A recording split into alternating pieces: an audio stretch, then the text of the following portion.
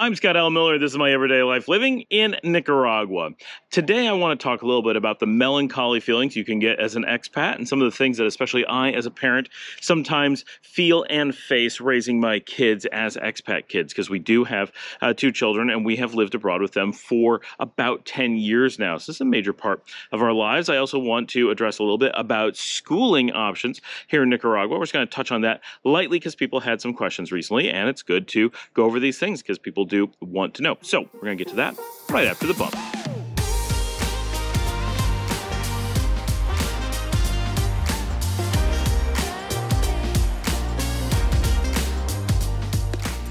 A gorgeous overcast weekend, and I'm glad to be home here in Nicaragua. I've been out of the country for most of the week. I had work to do, and so I was doing a lot of traveling, and that's very tiring. And of course, I'm behind on the show. So, uh, doing what I can to get caught up. I did manage to go out last night and record. I think it turned out, I have not had a chance to audit it yet, a good show at Via Via with Rockman Braza. So, I'm always trying to get some of that done for the NicaRumba channel. If any of you have not checked that out, go check out NicaRumba. That's exactly what it sounds like uh, uh, at NicaRumba here on YouTube, uh, where we do uh, concerts and uh, events and interviews from Nicaragua. It's really an arts scene and activities video show, and they're long form concerts. So you want to see what a live show would be like here in Nicaragua, that's a great place to go check some out. We put a lot of work into finally coming up with a process that makes good videos there. So I'd love if people went out and supported that. Just watch some, subscribe, and so forth. Okay, so the first thing I want to talk about is the schooling question. A lot of times people are asking me what there are as far as options for schools, specifically international schools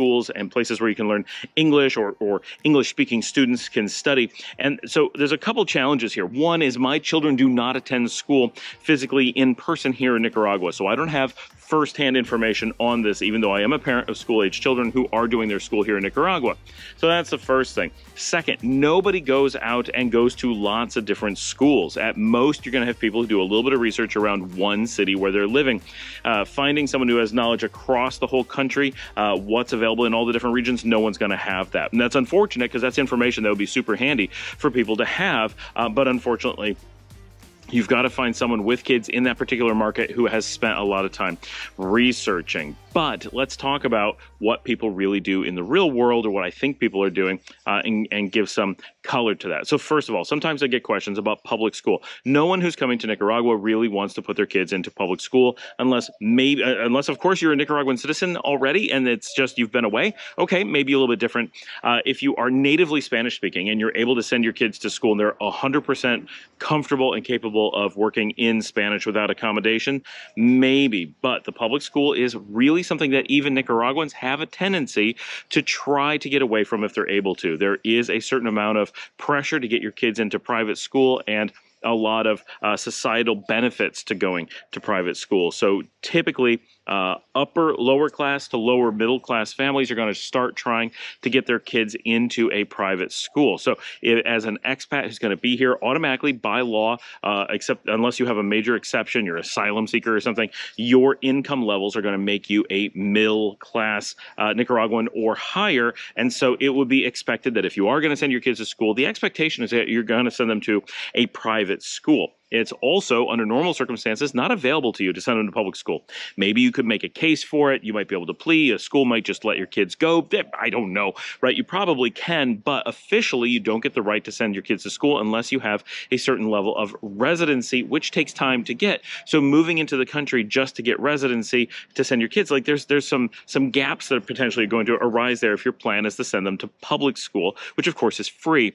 So typically uh, an expat will never have either the option of public school or reasonably consider it. And that's fine. There's no reason to. So the way that you would typically work here is if you want to send your kids somewhere, you would use a private school. And this is mostly what people ask about, but sometimes people ask me about public school, so I want to make sure we cover it.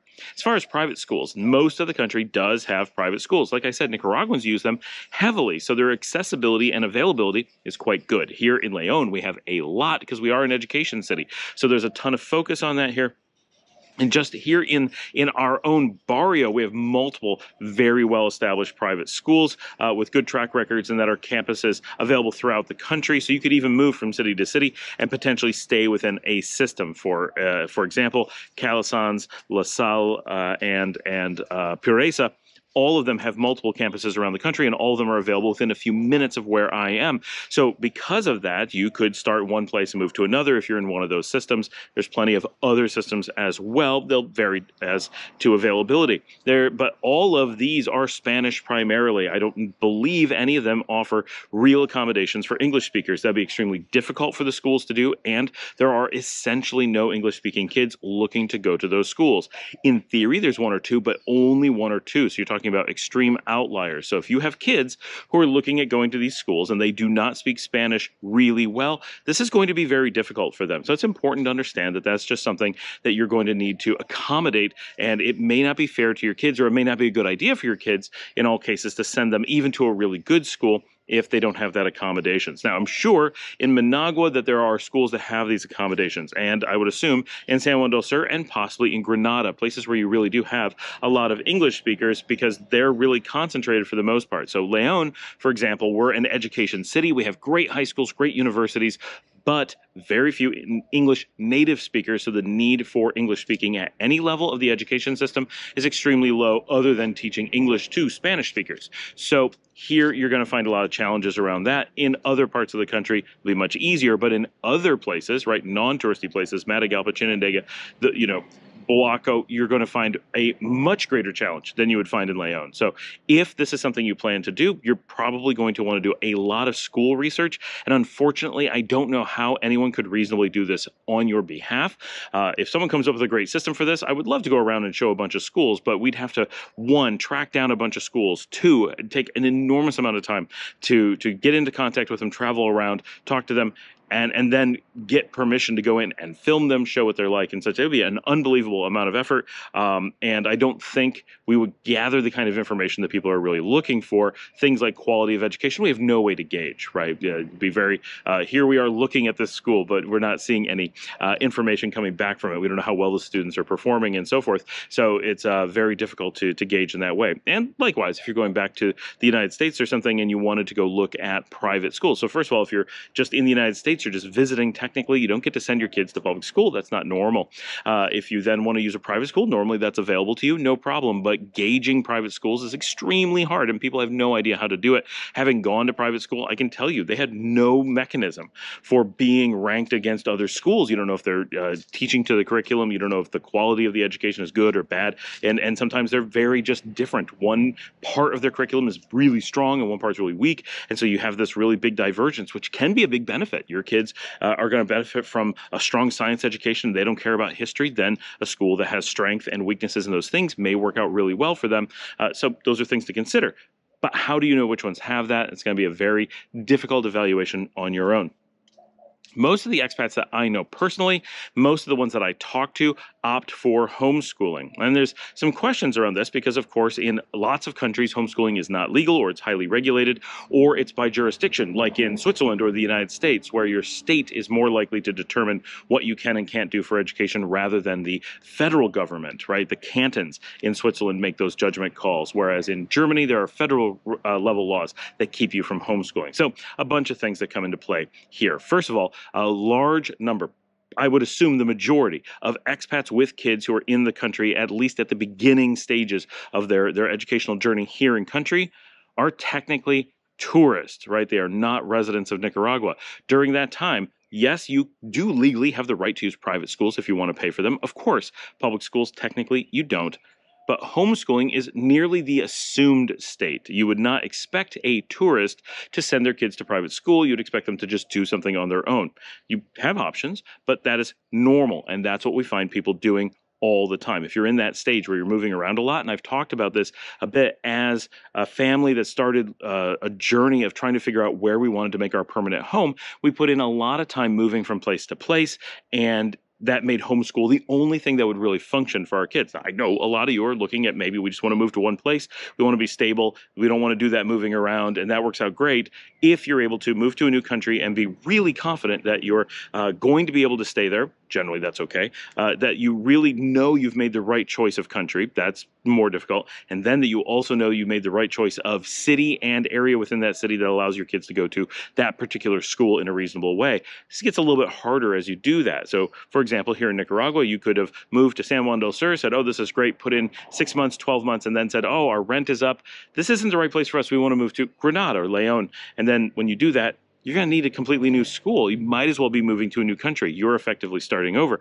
That can be very difficult. So, in those cases, homeschool helps mitigate against even intra country uh, movement as you figure out what areas and types of lifestyles are going to make sense for you. Plus, many of the people who are coming here to Nicaragua, as an example, I don't know about every country that is taking a lot of expats, but it is popular to want to be off grid or living out in the country where private schools are not available nearly all private school opportunities are in the major cities. So by uh, looking at something a little bit more alternative, you're going to lean towards homeschooling pretty heavily just out of a practicality perspective. Now, as far as being allowed to homeschool, I personally know of no country that restricts homeschooling for tourists. This would cause a lot of problems. You decide to fly through a country, you're spending the night, you're spending a weekend, you're putting in a week on the beach, and then you find out that homeschooling is illegal there, and maybe you didn't school during that time, but your kids are homeschooled.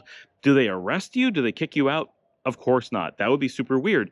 And so the same thing goes here. If you're going to be a tourist for a long time, which could be for six months, 12 months, 18 months, are they going to even ask you about schooling? No, absolutely not. You don't ask tourists about where their kids go to school. That's a weird thing. Is it legally something they could ask you? Of course. Is it something that any country I've ever heard of will do? No, not even the most stringent anti homeschooling countries like Germany would ever do that. Now, in Germany, once you make that leap to being a resident, then everything changes, and they absolutely do not allow you to homeschool your kid as a resident as a tourist, yes, when we visited Germany in 2012 and we went down the Rhine and, uh, you know, went and visited uh, uh, Munich and, and whatever, they did not care that our children were homeschooled. That would be absolutely crazy. But once they're starting to live in Germany, they're going to be renewing their their res not their but the, yes their residency, having residency, and officially being children that are being stayed is staying in the country, they want to make sure that they are in the public school system. Now they may maybe public or private, overseen by the public. I don't know all the options, but homeschooling is not an option in Germany because they need to have that oversight uh, for reasons that have completely failed, and the system does not work in the way that they had hoped at all. It's actually proven to be quite the opposite. But Germany's Germany doing their own thing. Coming to uh, Nicaragua, yes, officially on the books, citizens are required to go to school. We actually don't know what the exact requirements are for residents. This is actually a weird kind of gray area. The reality is, is that all the Nicaragua in practical terms cares about is that you're properly educating your kids and that you're doing the right thing for the country.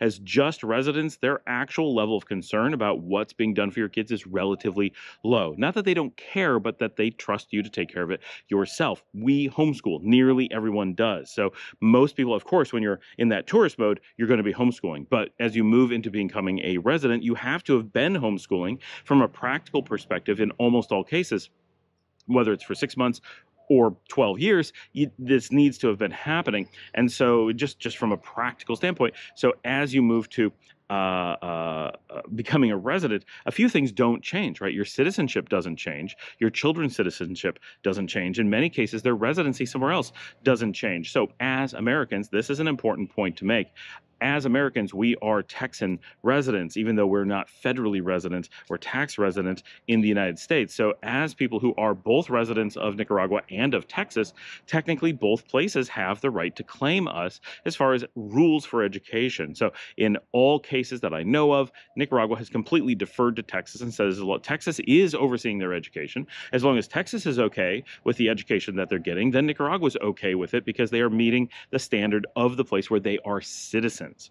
Right now, if you became citizens of Nicaragua, sure, things would potentially change. I think you'd still have no problem uh, doing homeschool. I don't think anyone would give you a hassle about that, but can I guarantee that? No, but I can tell you that the, I've never heard of anybody getting citizenship when they had kids in school. Not that that couldn't happen, of course it could. That is not something that you would really anticipate. In most cases, if you move, even if you're just having children and you start down the path, your kids would be so far through their education system by the time you'd be even considering the residency, uh, I'm sorry, the citizenship process. Residency you'd have early, but but citizenship would be so far down the road that uh, the chances that it would impact your kids, even if there were some rules that you had to deal with or some some permissions you had to beg for, they would not be a big deal. That is cannot be guaranteed, but is nearly nearly certain. I have never heard of a single person who had any complications when trying to give their kids a proper education. That is not the the country is not in a position where they want to harm your education, right?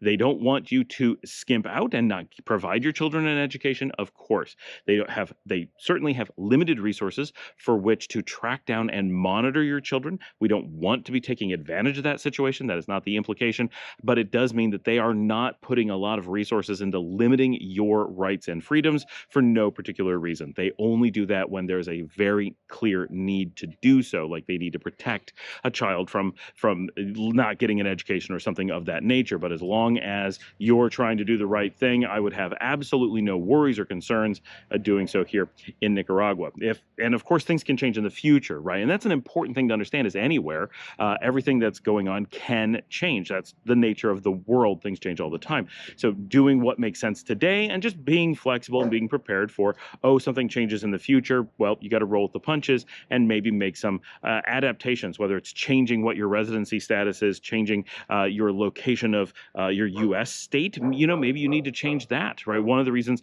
that we uh, made sure that we had Texas residency at a state level was to make sure that we had protections for uh, homeschool. Texas is great for that. If you're moving out of the United States and you live in a state that you are worried about its education rules, get to Texas.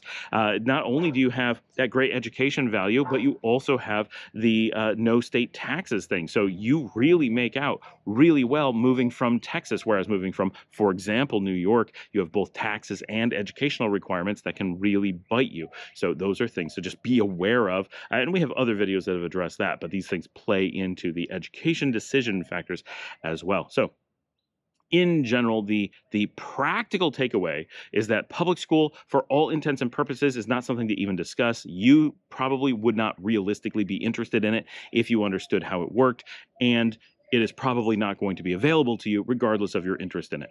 Private schools are widely available and generally pretty good, or at least some of them that are, there's always pretty good ones available, but almost none are going to be in English uh, first, at least. And so, if you need a school that uh, you need to be sending your kids to a private school where they're able to work in English and learn Spanish once there, your options are going to be very limited. They will exist, but they are very limited. And you're probably looking at just a few different locations where you have lots of expats. But if you want to do homeschooling, assume that that will always be open and available to you without the slightest problem. Here, we've had to do literally nothing about homeschool. Maybe some people have had to register something or tell somebody or have have discussions about it or whatever. And I'd love to see those comments of anyone who's had anything like this come up. Uh, what what is it that triggered it? How did you know whatever? Um, but having been here for a long time and having a channel where we talk about this, never has it come up. Has someone said, "Oh no, you're," you know, and this actually comes up in New York. Oh, you're over-educating your kids. You're giving them too much of an opportunity. We want them held back if they're not in the public school, right? None of that kind of weirdness happens here. You really do. If you're trying to do the right thing, Nicaragua is trying to help you do the right thing. Everyone wins here, right? So Nicaraguan society wins. You win. Your children win. This is only winners. They're not out to harm themselves just to harm you that is crazy. And I know lots of other countries, a lot of people are moving here because they're coming from countries that do that. They're not looking to do that here. So, uh, rationality, practicality, these things tend to win the day here in Nicaragua. And I was just saying uh, to a friend of mine who's moving down and coming down to visit in a few weeks, already has some property. And uh, she was looking at some supposed Nicaraguan laws online, and it's something completely crazy and impractical. And I said, here's just a general rule. One, don't look online for Nicaraguan laws. We had that video yesterday. You know, if you're not talking to a lawyer, do not. Don't do the research. Don't look it up. It will be wrong. It'll be out of date. It'll be completely false. It'll be from a, you know, someone trying to trick you. It's just setting yourself up for failure. Don't try to do that. But if you do look at a Nicaragua law or something claiming to be a Nicaragua law and say that thing doesn't make any logical sense.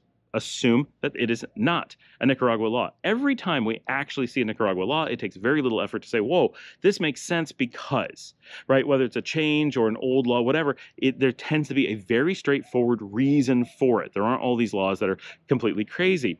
But when you're coming from a lot of other countries, not most, but certain other countries, there's a very high trend of their laws not really making sense, not being based in what's good for society, not based in logic, more based in emotional reaction or individual power players getting something that they individually want, or someone reacting negatively to an event like the donkey in the bathtub laws, things like that, things that make no sense to actually have as laws, but weird little jurisdictions. You get one judge who, you know, doesn't like the way things are done, doesn't like his neighbor, and so makes a law uh, to affect them. That kind of stuff doesn't really happen here, but in certain places it does. So when you come from those kinds of places, it's easy to be misled by people saying, oh no, Nicaragua does crazy things too.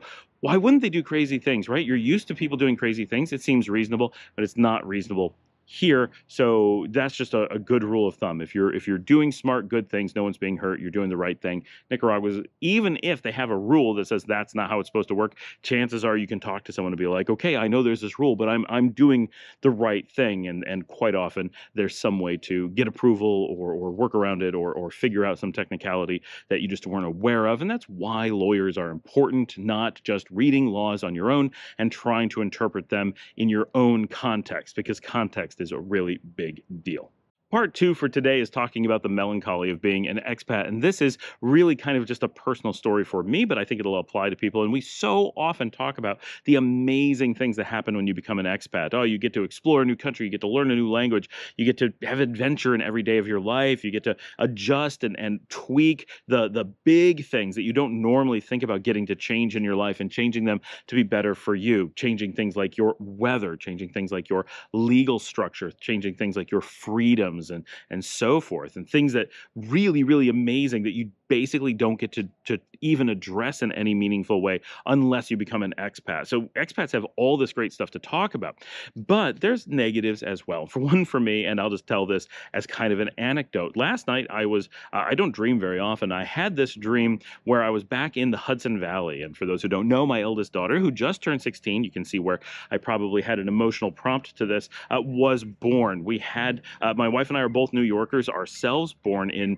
upstate New York. And at the time, I was working in uh, on Wall Street. We were living in downtown Newark, New Jersey, and we we were pregnant with our first child. And we said, you know what, our kid is not going to be born in New Jersey. We're both New Yorkers. We want our kids to be New Yorkers. Uh, so we moved to the Hudson Valley. We bought a house and moved to the Hudson Valley. We didn't get to live in the Hudson Valley for a really long time, but we did live there when my youngest was born. She was born there. Uh, we eventually moved away, and then at a few years later, we moved back. So both of my children got a chance to live there, and at least a little bit do remember it. But we didn't stay there a long time. But we do have some really fond memories. Of course, it's a place where we had our first child. Both of our children were very small there. A lot of important life events took place in the Hudson Valley, and of course, the Hudson Valley is just a really beautiful, nice area. Even if it's expensive and stuff, it's got a lot going for it. So in this dream, I was talking to my daughters and just expressing that we were no longer going to have ties to the Hudson Valley and in a very real uh, way talking about that we were expats and living abroad and uh, that without these ties without a reason to come back this is a place that's very far from family very far from anybody any reason to be back there and with no longer having ties and this kind of ties into we a few years ago sold our house that was there. We kept it for a really long time, uh, hoping the market would get better, hoping that maybe we'd move back or whatever. Uh, we were really uh, tied to it, even if we weren't there for a long time. It always seemed like we'd go back. Once we sold that house, once we moved away, and now my daughter turning 16, those things kind of came together. And in this dream, I said to my daughter, you know, we really we don't have ties to this anymore. We'll probably never see the Hudson Valley again.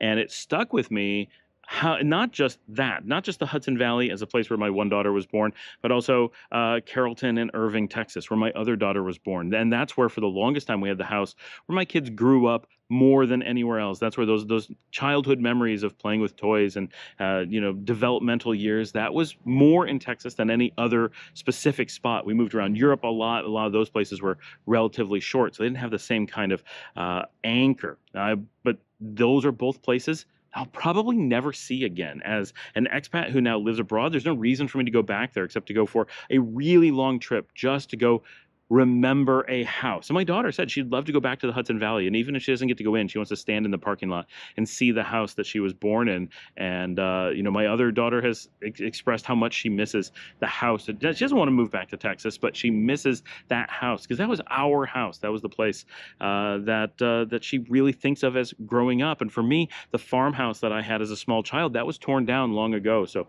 long, long ago, I separated myself from ever getting to see it, roughly 40 years ago. But the farm that I grew up on uh, all through those years and the house we had after that has been sold. I'll probably never drive past it again. Maybe, maybe I'll drive past. Maybe I'll even get a video for you guys. But at most, that's all that's ever going to happen. Uh, so much of those pieces of my childhood are gone. Even though my father still lives in the region, many of those things I'll never see again. Ithaca, New York, where my wife and I met and lived for years, probably we will never see again. Uh, the the Maritimes in Canada, where my wife and I honeymooned, where I traveled as a teenager, we always wanted to take our kids there, but practically we'll probably never see it again. And of course, Bar Harbor, Maine, where I used to go every other year with my parents when I was young, as you know, our family vacations.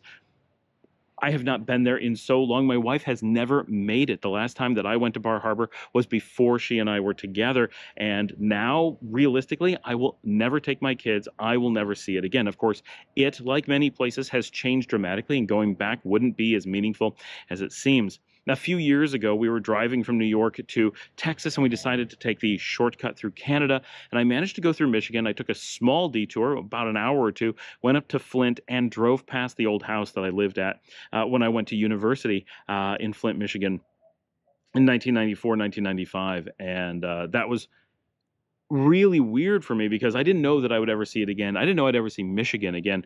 And uh, seeing that house was, it really brought a lot back but that was an example of like really losing touch with places that you've lived. I've lived all over the United States. I've lived all over Europe. I've lived in multiple places in Latin America, and in, in doing so, as an expat now, especially, uh, I am so far away from the places that I, I have lived in and have meaningful memories from in the past. Oh, and also I had to mention this another trigger to this memory. I'm sure I was in Belize uh, just a few days ago, and I was at this restaurant that just brought back memories of the diner in Peekskill, uh, where my wife and I used to eat more than anywhere else when we were there. And uh, there was also, and this is very funny, there was a Guatemalan restaurant in Peekskill. That was our introduction to Central American food. Later, when we moved to Texas, there was also a Guatemalan bakery. We lived in Little Salvador, so we, we got really steeped in Central American culture in Texas. But in New York, we actually had this Guatemalan bakery, uh, I'm sorry, restaurant, and we used to go there, and that's where we got to know a lot of stuff. So when we then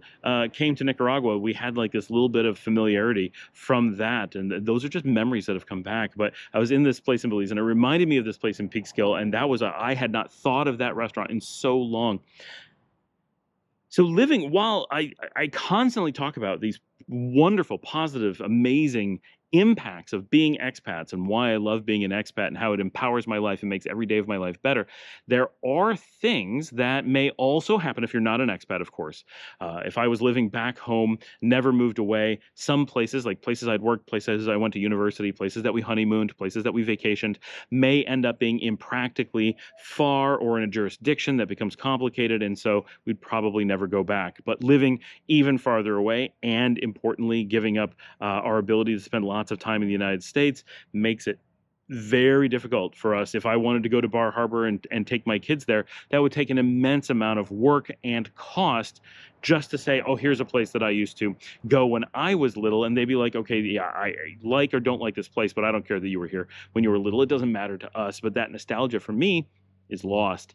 Uh, and so I was having a melancholy moment thinking about how being an expat does create these situations where there are these places that we really can't go back to. They say you can't go home again. In these cases, it's real. You can't go home again. You you just you just don't have those options, uh, or, or it's so impractical that you might as well not. And in all these cases, if I made an effort, I could go see all these things, or at least what's left of them. But I know that the money and the time aren't worth it. And and while it would be neat to be at any one of them it would only be good for 30 minutes, for an hour. And then I'd say, okay, I've seen this again. Why did I spend so much to see it? But if I lived back home, it would be trivial and I may go past them on a regular basis. And my family in Ohio, I, it's an entire region. There's a good chance I'll never see Ohio again, which growing up, I didn't grow up in Ohio, but m- most of my family did. And so being in Ohio all the time to see them every Easter, every Thanksgiving, sometimes at Christmas, all right, those are things that just don't exist anymore for me. And uh, our last time in Ohio was quite some time ago. It's already been many years. We were there for my grandmother's funeral uh, in 2017. We were actually there right. We actually we had to leave early. We had a flight to Italy uh, when we were moving to Italy, and and we had meant to stop and see my grandmother on the way, and she died the day before we were going to leave. Uh, so we had to go quickly so that we could be there for the funeral instead of getting to visit with her. But that was seven and a half years ago, just about eight years ago. I have not seen Ohio already for eight years. There's so many of these parts of our lives that we've not seen already for so long, which in some ways makes it easier. We've already trimmed it off, but there's so many places that it would be nice to not have given up that sense of place uh, that that you often have. And of course, we're building a new life here in Nicaragua, and no place that I've ever lived felt as much like home as here in Nicaragua. So that's very special for me. Like I have this sense of being in the place that I'm supposed to be in that I've not really had previously. But all these old pieces. As someone in their late 40s, I'm nearly 50 years old. I have over 40 years of my life around the world, not here in Nicaragua, and and those things to me are mostly lost. Now, some of them are not lost, right? We can go back and rent the house that we used to have in Romania, in Greece, in Spain. We could go back to the same village, possibly the same house, and and relive some of those memories. And sometimes we think we will, especially in Greece. We know exactly the house that we had. I looked at it just the other day, and uh, you know, I really want to go back and spend time in that house again. But uh, uh, by and large, most of these places slip through our fingers and slip through the hourglass of time uh, and just aren't things that we get to keep. So that is a thing that I've noted in my own life has been I don't know if negative is the right term, but certainly gives a melancholy feeling and makes me nostalgic for a lot of the physical places and restaurants and roads and, and parks and, and playgrounds and things that we used to use when we were younger and when my kids were younger. Um, and I do wish we could visit them again. But would they actually care? Does actually having access to those things provide a great benefit? I don't know, but it's a trade off that you have to make. Anyway, thanks for joining me. Like and subscribe. If you'd like to help support the channel, you can buy me a coffee at buymeacoffee.com slash Scott Alan Miller. I'll put the link on the screen. And of course, all the information is down in the show notes. Anything you need, contact me, uh, support the channel, all that stuff. And as always, love getting feedback and questions and stuff from you guys. So scroll down and say hi if nothing else. Leave your comments. And I love it when people send in videos like Brent did the other day so we can add them to the show and make it you know, connect you guys together. Hoping to be able to do the live stream this week on Thursday. Last week was Thanksgiving, so we skipped it. Plus, I was traveling. This week was nuts, uh, but I missed doing that. So I'm looking forward to getting back to that. We had technical glitches the week before that, so we didn't do a long one. So I'm feeling a little bit like we've missed out a little bit. And uh, with that, I will see all of you tomorrow.